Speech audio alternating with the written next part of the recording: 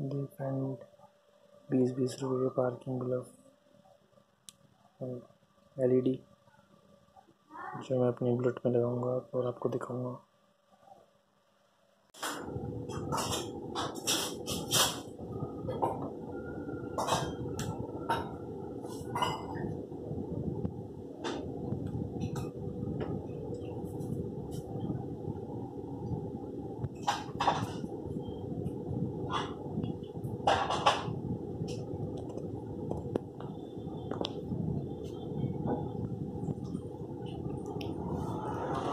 Thank you.